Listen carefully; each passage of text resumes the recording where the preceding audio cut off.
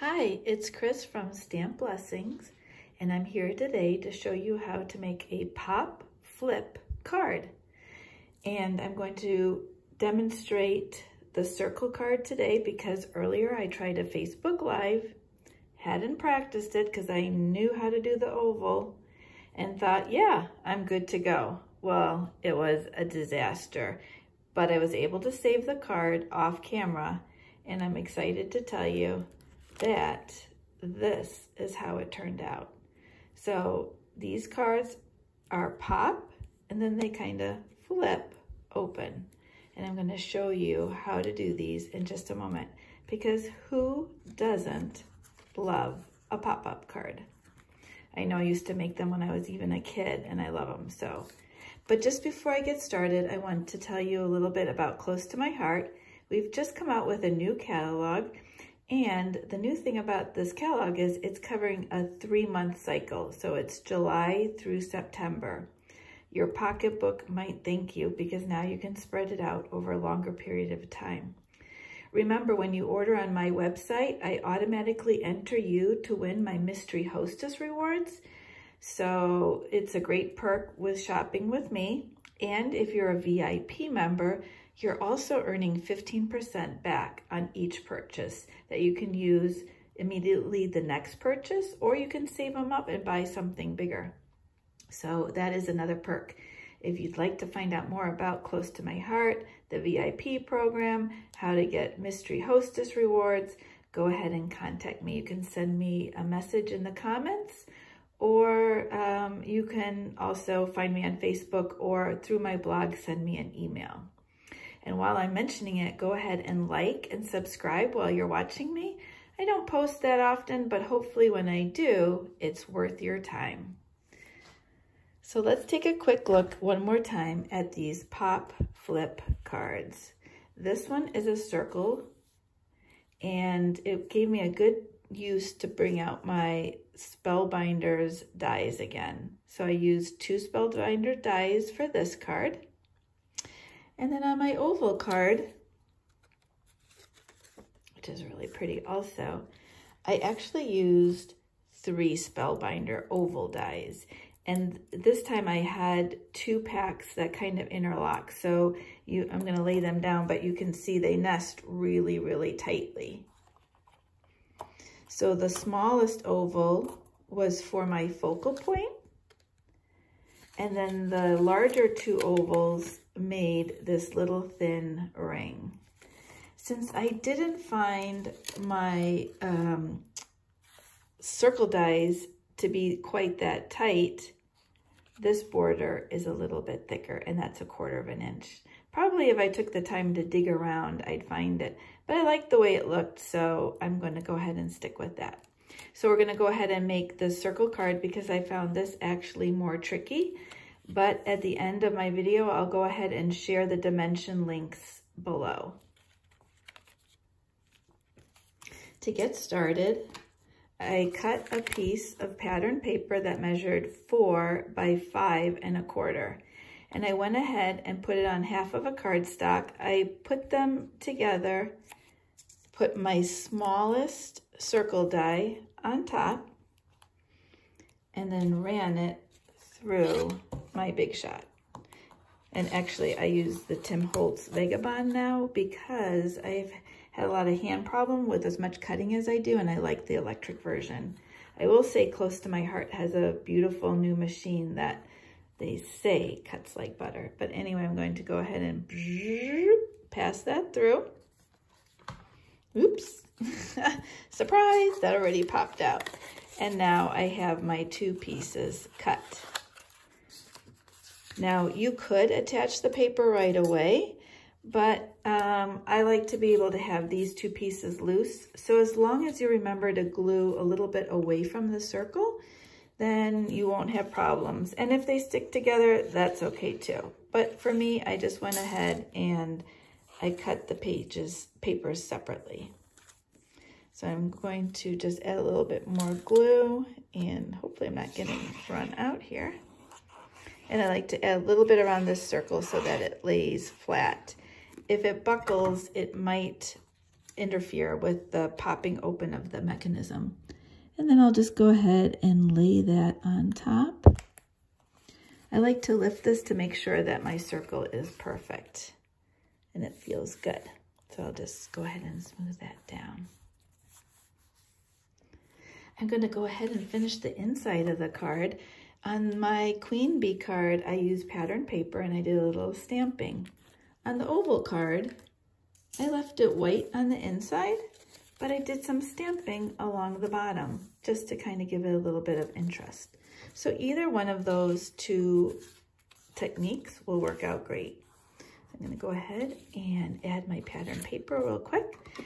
And with Close to My Heart, the pattern paper is always so pretty on both sides. I usually have a hard time deciding which side to use. But in this case, I think I'm gonna stick with this lighter color. And there we go. And that is ready. So quick and easy so far.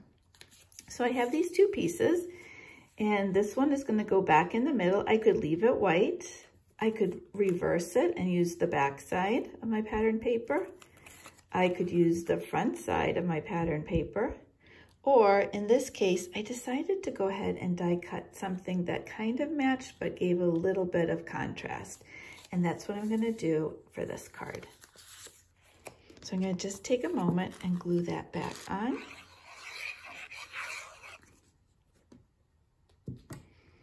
And I'll go ahead and line that up.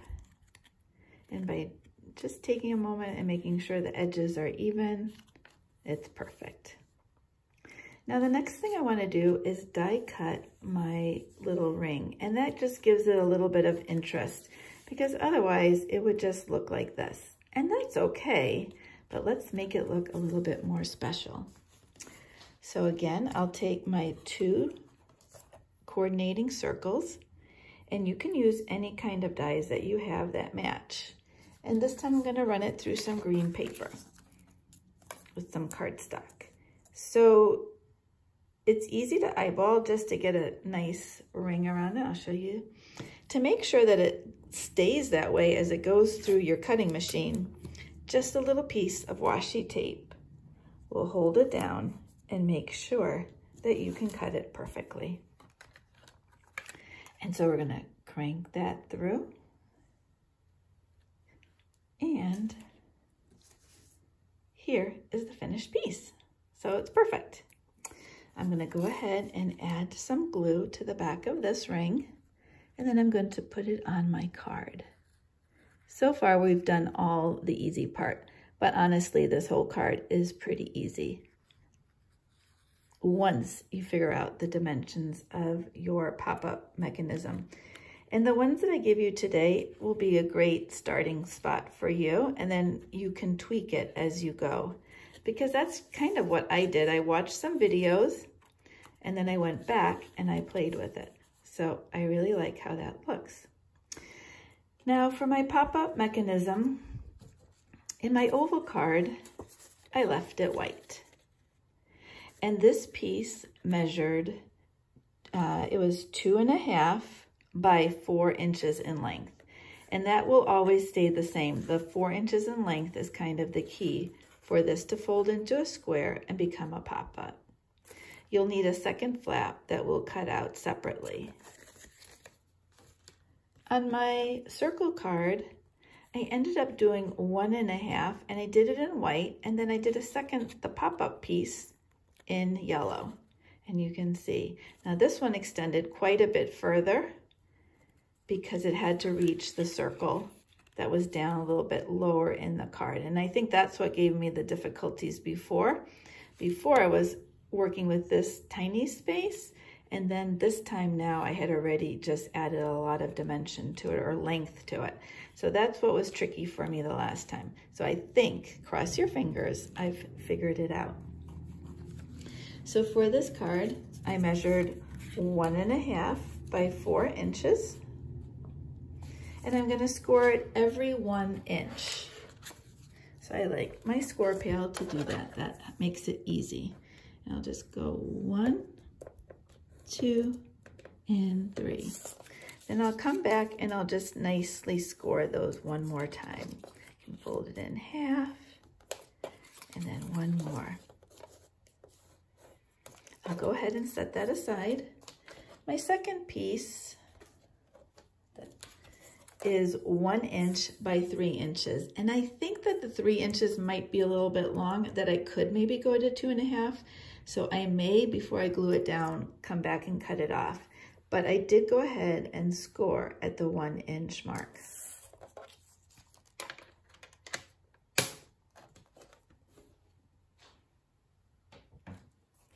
Now we're going to uh, create the pop-up part of this card. So again, remember that I scored it one, two, and three. And that gives me two spots that are flat that I'm going to add some glue. I like to add glue because I think it really stays well and it gives me just a moment to fiddle with it. So on my Facebook Live, I ended up tearing the card apart pretty quickly. But I'm going to go ahead and put it right there, centered of the circle, but so that the flap can still close. And I'll just want to hold it there for just a few seconds. Now I'm going to add glue to the top part of the flap.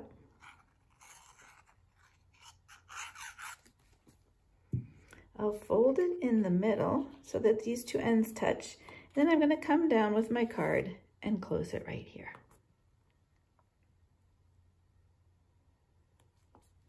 I'm going to set um, a block on that for just a second and let it dry and hold for just a moment.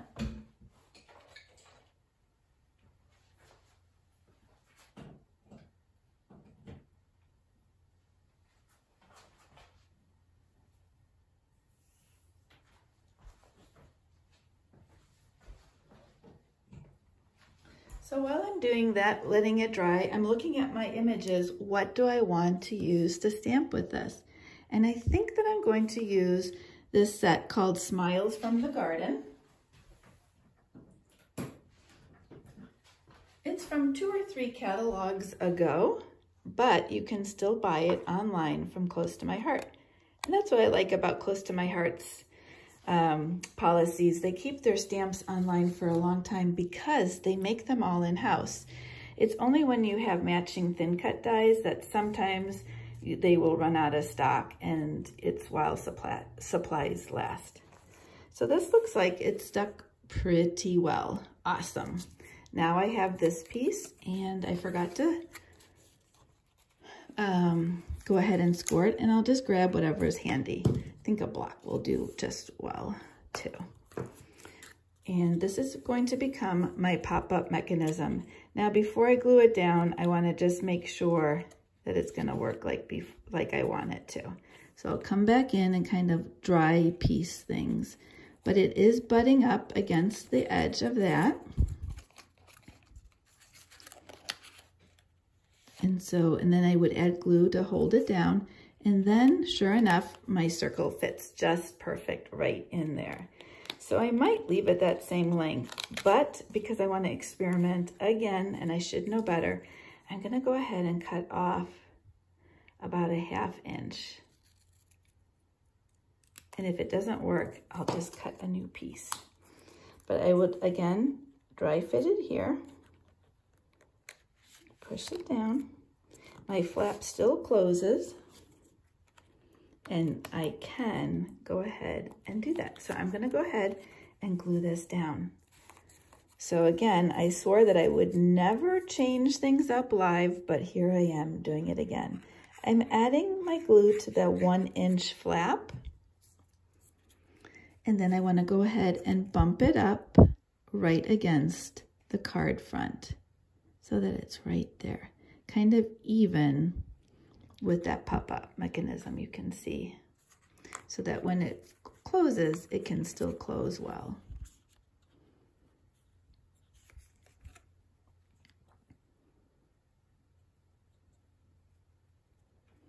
All right, so I'm gonna look back what I did here before. And actually I glued the wrong direction. So Remember how I said about the glue? I actually want this longer tip to be there. So I'm thinking about one inch of glue. I'm coming around. I had some glue left there, but this time it's okay. It doesn't matter because I want it to go here. And that's why, again, perfect. So it took me just a minute again. So these are tricky, but it's nice to use glue so that you can pull it apart easier. So I'm gonna set this aside and let those two pieces dry. Now I want to decorate this. And I've gone ahead and I've pre-cut my butterfly with the thin cuts. And Close to My Heart has many, almost most of their sets that have matching thin cuts. That makes it really nice. And I really like this artsy doodled butterfly. And I'm gonna go ahead and use sorbet ink. Now, I will confess that I have a, quite a few of the older style ink pads. This is Smoothie, and they're a little bit tricky. You have to pull down, twist, and turn. But the new ink pads are quite easy. They are magnetic. They are large. Look at how big they are. And they just are so easy. The lid kind of can go underneath. You can flip it this way makes it nice and sturdy and just flop it back right down. So I might be using that sage. I wanted to show you how nice those ink pads were. And then I'm going to go ahead and with a die cut, I want to just stand over it. I find it easiest to stand and come straight down. So we'll see how that turns out. And it came out perfect. Great. Our inks do lighten a little bit as they dry, so that's kind of nice. So right now it looks really dark, but it will end up getting a little bit of a softer look. I'm gonna go ahead and put that on. I really like that. The thing I have to decide is, do I want to add any of these other images to it? And let's see. Now I think I'm going to leave it and then put the sentiment on the inside. So I'll go ahead and now begin to glue my focal point onto here. So now I'm adding glue back to that little one inch piece. That was the piece that stuck out. And I'll go ahead and lay my circle in. And it is a little bit tight. So what you'll want to do is practice holding it down and opening it and closing it so that it can get through all of those ridges. You might even want to take a little bit of a scissors and kind of smooth things out if it's a little bit tight. But I like to just kind of practice getting it through while it's still wet to make sure it fits in perfectly. And it is. I'm going to give a little dimension to this butterfly and just add glue to his middle because that way he has a little bit of flexibility. And I, I could always go in and still stamp a small sentiment just down there. But I like things a little bit off center and I really like how this background is a little bit like a sky. Then when I open it up, here it's popping open. And because my pinks, I used the darker side and the lighter side close to my heart does have that where one side is darker and one side is lighter. So I'll just show you on my green piece. I don't know if you can see that, but that is definitely the darker shade and the lighter. And when I used my pinks, I used one of each, which is fine. That looks good. Looks like it was meant to be. Now I just have to come in and figure out which sentiment I have. You make me smile. Each day is a new beginning and you brighten my day. I think that I will maybe give this to somebody that needs a little uplift. So I'm going to go ahead and switch out my blocks. And I think to make it really pop, I'm going to put it on black and I'm already mentally prepared. If it doesn't come out very well, very bold, what I can do is come back and take this same pink and make, cut a circle and put the sentiment over it. So I am prepared mentally for this not to come out to work, but I do like the look of stamping over pattern paper and I just don't do it very often. So So let's do that. And I'm going to come in and I think that I want it off to the side.